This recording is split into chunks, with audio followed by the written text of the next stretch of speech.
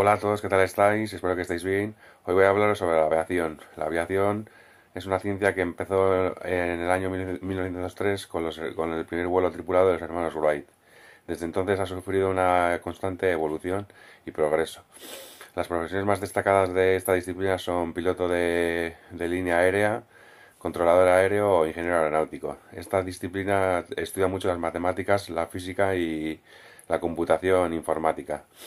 Por ejemplo, para ser piloto pues necesita buena vista, eh, saber inglés y unas actitudes académicas bastante importantes. Para ser ingeniero pues bastante parecido y para ser controlador aéreo hay que tener mucha capacidad eh, espacial y todo eso. Bueno, espero que os haya gustado. Gracias.